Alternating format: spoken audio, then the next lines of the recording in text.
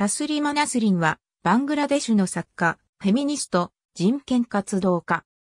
1990年代から新聞、雑誌にイスラム教による女性の抑圧について記事を掲載したことで、イスラム原理主義団体の攻撃を受けるようになり、さらに1993年にイスラム教徒によるヒンドゥー教徒迫害を告発した恥を発表したことで過激派がナスリンの殺害を呼びかけるファトワーを発令。翌94年にはカルカッタの英字新聞に掲載された記事にコーランは書き換えられるべきであると書いたために大規模なデモが各地で行われ、バングラデシュ刑法第295 A 条に定める冒涜にあたるとして逮捕。保釈されたものの出国を余儀なくされた。以後、亡命生活を続けながらも精力的に執筆活動を続け、世界各国で人権、女性の権利、世俗主義、表現の自由等について講演会を行い、その功績により、欧州議会の思想の自由のためのサハロフ賞、寛容と非暴力促進のためのユネスコマダンジェイト、新賞、女性の自由のためのシモーヌ・ド・ボーボワール賞など、数多くの賞、名誉博士号、名誉市民の称号等を受けた。タスリマ・ナスリンは1962年8月25日、東パキスタンのマイメンシンに医師の娘として生まれた。ナスリンも医学を専攻し、1985年から地元の産婦人科病院、1990年から1993年まではダッカの国立病院に勤務した。一方、すでに13から14歳頃から詩を書き始め、1980年代から詩や小説を発表。1990年代には新聞、雑誌に女性の抑圧を告発する記事を掲載し、男性優位社会やイスラム法を容赦なく批判した。新進気鋭の作家として注目される一方、イスラム原理主義者らの反感を買うようになり、1992年、ナスリンの本を置いていた書店が攻撃された。1992年12月、ウッタルプラデーシュ州のアヨーディヤーで、ムガル帝国初代スルタンのバーブルが建設したバーブリーマスジドがヒンドゥー原理主義集団により破壊される事件が起き、これ以降インド各地でヒンドゥー原理主義者のイスラム教徒への攻撃が始まり、対抗してパキスタンやバングラデシュではヒンドゥー教徒に対する迫害が強まった。ナスリンは翌1993年2月にイスラム教徒によるヒンドゥー教徒迫害を告発した恥を出版。イスラム原理主義者らはさらに怒りを募らせ、過激派がファトワーを発令。ナスリンの殺害に5万高の賞金をかけた。ナスリンは警察の保護下に置かれながら執筆活動を続けた。翌94年5月、今度はナスリンがカルカッタの英字新聞、ステイツマンに掲載された記事に、コーランは書き換えられるべきであると書いたために、大規模な抗議デモが各地で行われ、ナスリンはコーランではなく、イスラム法に対する批判だと説明したが、デモは勢いを増すばかりで、過激派からは死刑を求める声が上がり、さらに2件のファトワーが出された。ナスリンは逮捕され、世界各国のメディアが大々的に報じた。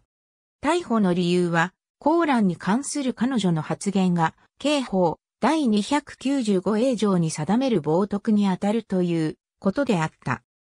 刑法第 295A 条には、バングラデシュ市民の中のいかなる集団の宗教感情についても、それを侮辱しようという計画的であからさまな悪意をもって発言や文書など明らかに認識し得る表現によって宗教や信仰を侮辱したもの、あるいは侮辱しようとしたものは、2年以下の懲役か、罰金、あるいはその両方に処すると規定されている。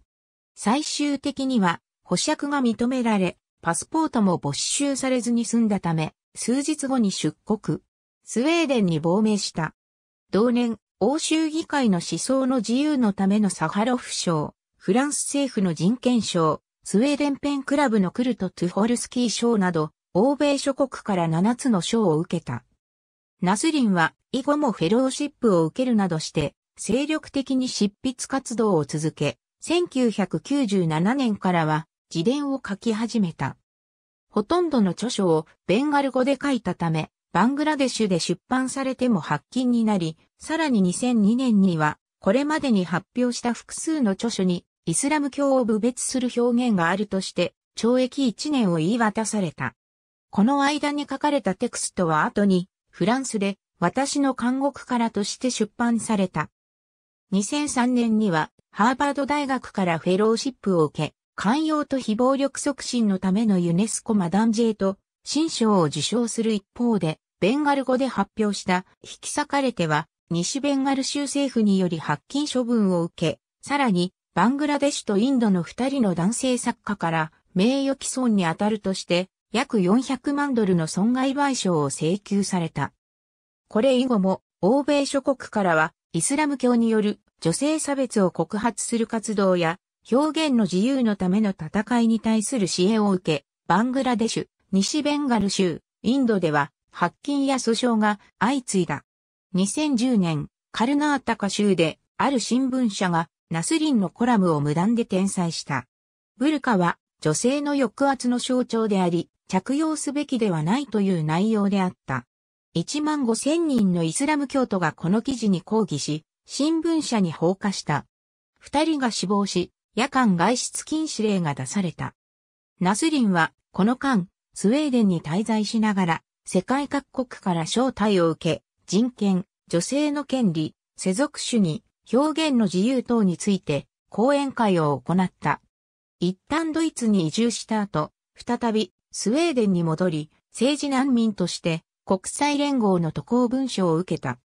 1998年から米国に滞在したが、母が病に倒れたことを知り、バングラデシュ政府に入国許可を求めたが拒否されたため、難民の地位を取り消し、渡航文書を返却することで、バングラデシュのパスポートを返却され、入国した。しかし、ナスリンは、イスラム過激派組織、ハルカトゥルジハーディ・イスラミ・バングラデシュに狙われていた。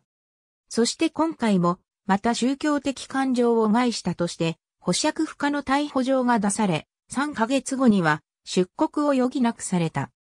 フランスのレクスプレス紙のインタビューに答えて、医者であるにもかかわらず最後まで母の面倒を見ることができなかったこと、愛を返せなかったことが何よりも辛いと繰り返し語っている。